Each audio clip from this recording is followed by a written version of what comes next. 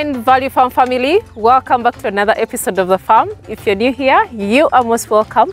Please consider subscribing if you haven't already and also turn your notification bells on. And of course, to all our returning subscribers, thank you so much. We really appreciate you guys so much. Thank you so much for being part of this family. You guys are amazing. We are back at the farm and it's really super exciting. I also have my co-director who should say hello to you guys. Wow. Hello, everybody. My name is co-director Grafton, part owner of Value Farm and founder, along with my co-director here. Now, it's often said, if you love what you do, you never work a day in your life. Uh-huh. As we stand here in this glorious day and the marvel at what we have here mm-hmm. in front of us, beside us, behind us, who's gonna convince me that this is not heaven on earth? You know, as a farmer, as a hardworking farming team here, every time I make it back to the farm, it's just it's just a remarkable feeling, the feel of tranquility. Yes, we're working hard. Yes, the team is working hard. Yes, it's not easy. It's not easy. But you know what? It's so enjoyable. I almost feel like I'm cheating work. However, we're here to talk about reasons to integrate um, sheep into your mixed farming operation. Yes. And my partner is going to kick us off, right? Yes, of course. I know you guys have watched the previous video that we talked about when we were buying the sheep in Kenya, and you guys were really very curious. Some of you were really curious. Why are you buying the Dorpers? Why are you integrating the sheep into your mixed farm? Why did you even come with an idea of putting the sheep uh, with what we have already at Value Farm? That is a good reason, of course. It's a good reason for us to really integrate it because who doesn't love lamb? who doesn't love mutton? Come on, lamb is so sweet, and most people really love lamb in this country. I know most of you may disagree with us because of what you hear in the streets, but that is a lie. Most people really actually love the lamb because we had some, but that the, the supply was really very little. So for us to really upgrade and also get better breeds as the Dorpers are in the country, guys, it's an amazing feeling.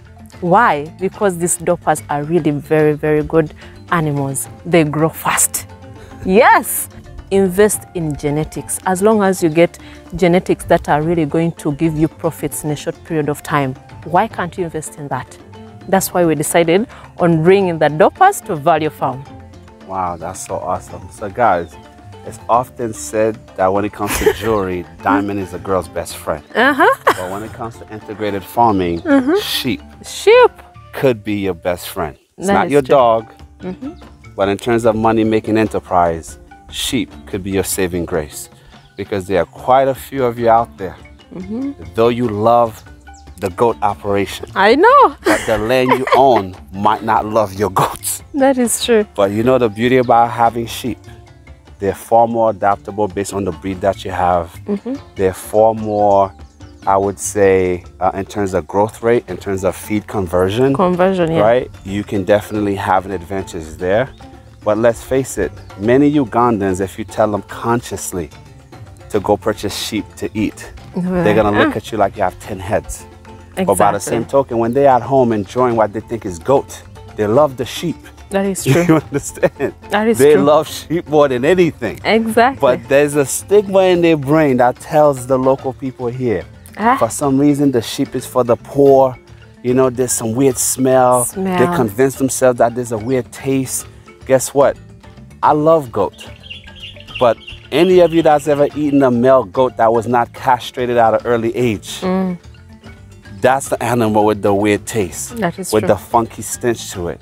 But by the same token, the reason we wanted to actually tell you guys more about sheep operation, number one, who wouldn't want to be the market leader? Or when you start a race, when you Mm-hmm. get out of the block, do you want to be in last place or do you want to be right there at the first block? You know, although when you come around the corner, Mm. right, once you come around that bend on the track, even though it looked like you're in last place, you still technically align evenly based on the spacing. But psychologically, mm-hmm. you want to be in the first block because you feel like you're out there by yourself. At least for the first 10 seconds, you have the headwind, you can build up the momentum.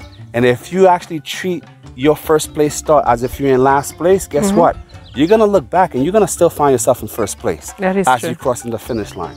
So when it comes to sheep farming, guys, the market is wide open. Open.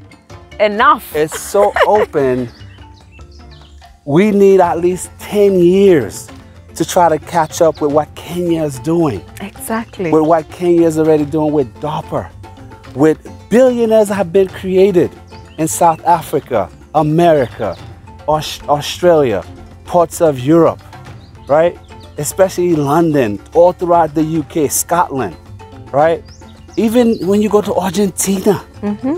Many of these big farms, if they're not running cows, cattle, they're running sheep. And in many instances, they run them together. that is true. So now, if it's good enough for France, let's go down the list. Mm-hmm. Good enough for the UK. Mm-hmm. Good enough for Germany. Mm-hmm. Good enough for Scotland. I can go on and on and on. Why not us here? In Uganda. Because let me give you guys an inside baseball secret here. Take Boers, we have them. Take the savannas, we mm-hmm. have them. Even the Kalahari Reds, we have, have some. them. Mm. More coming. But I told my business partner here and my friend that's behind the camera about six months ago. Mm. If I knew then what I know now, right? And my brother or my son wanted to get into farming, I would tell them as much as we love our pigs, as much as we love Love our, our goats, start with sheep. Sheep. You start with the sheep, you then integrate your goats, you build up your war chest, and then you go into pigs. If that's how you want to approach it. However, based on the size of your pocket, mm-hmm. if you have the money and you have the reserve, then by God, you could start with pig farming all you want. Mm. If you want to go commercial and fast, And right? yeah. But it, it brings us back to full circle. We need a paradigm shift here in Uganda. Yeah. Not just Uganda. Same thing in Rwanda, apart from Kenya. Not too sure about Burundi. We're still doing our market research there when it comes to sheep. Yeah. But let me tell you guys this. Sheeps grow so much faster than goats. That is so true. It's not even funny. You could literally be out here in the field. Mm. A female sheep would deliver, will just start lambing. Mm-hmm. The young lamb will come out and she'll be in full stride. Within one It hour. might not even slow down for more than three seconds. That is true. They'll deliver within two seconds. The, the lamb is up and running and Hopping hopping around. You Yes. understand? We have so many goats. We've been around goats for quite some time. Yeah. You know, when you have these exotic goats, it takes a higher level of care. Yeah, it takes true. a higher level of hands-on. And if you're lucky enough to actually purchase breeds of sheep, yes, we love the Dorper and we also love the Meat Master. There's also the St. Croix. There's so many different variations, Mm-hmm. Variations out there. there. If you do your research and you buy your first breeding stock Mm. from reputable breeders that don't really give them any heavy medication, Mm-hmm. seriously, you can have a flock that's more resistant. That is so true. There, you, the amount of time you need to treat your goats versus the amount of time you need to treat Treat your sheep, sheep. we're talking a ratio of four to one. That is true. You do the math. Save you money on your vet bill. Save you money on your your, your time and labor, That is true. right? And on top of that, they don't compete with the goats when it comes to feeding. That is another you know? thing, by the way. So then they literally are fishing theoretically mm. in different ponds. that is true. So there's no real competition there. Wow, that is really amazing. Talking about the like the management, as you already hinted on it Yeah. already, like I feel with our experience at Value Farm, the sheep has been really very easy to manage. They go with the cows. I think you guys have not really seen them with the goats. We integrated them with the cows. That's when they go out to graze. But this sheep, let me tell you something.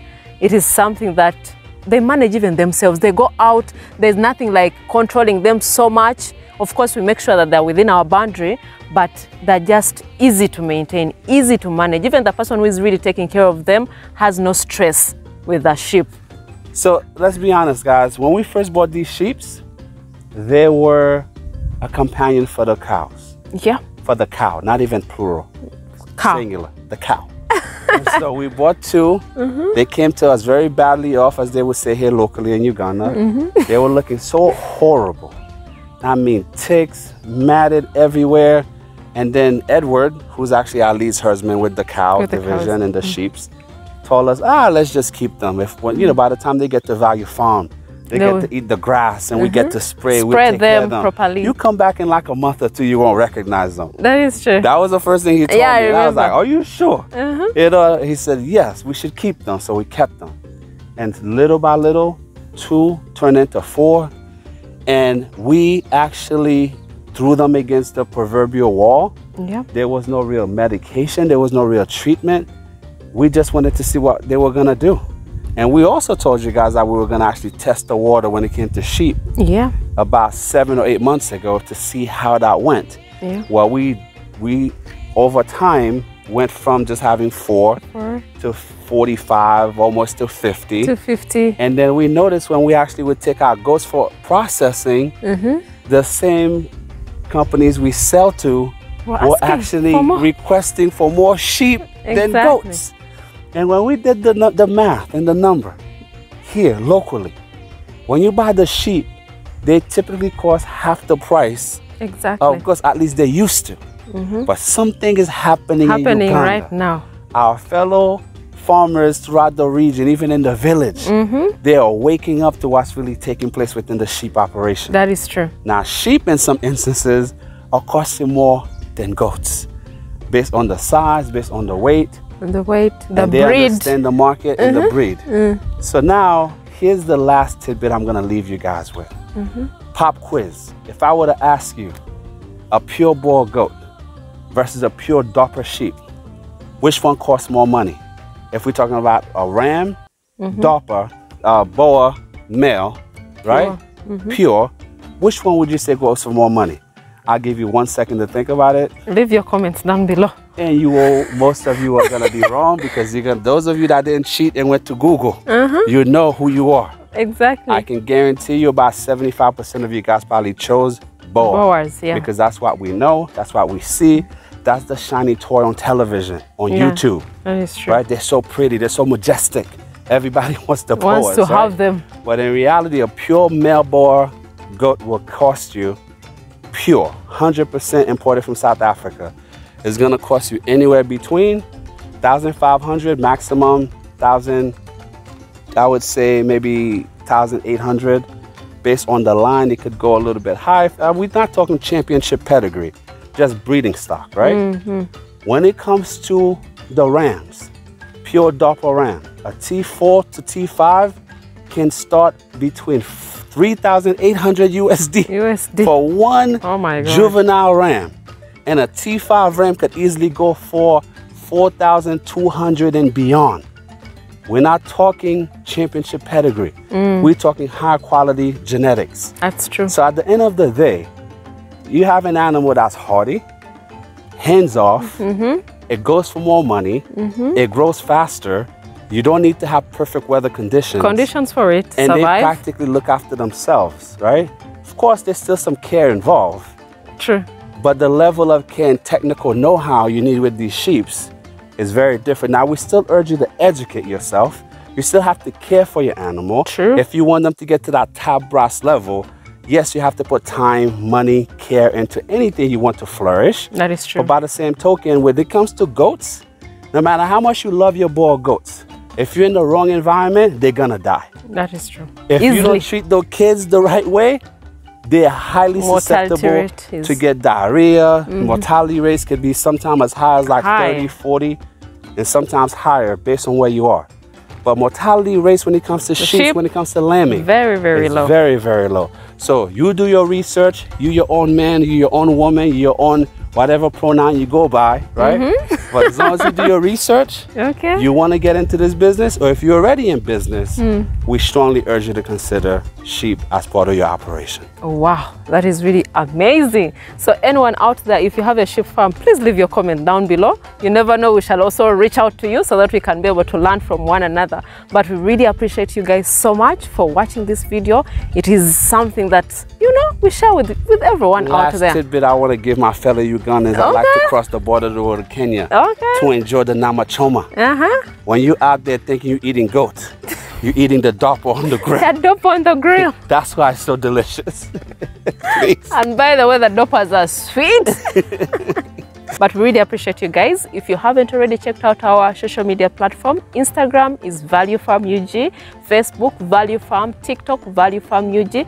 Go see the behind the scenes and also what we really update that other side. But we appreciate you guys so much. Tell a friend to tell a friend and do not forget to subscribe, like and share. Till next time. Bye. Bye.